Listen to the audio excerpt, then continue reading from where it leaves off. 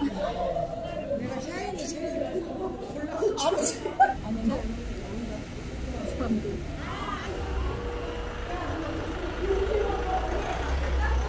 갈게요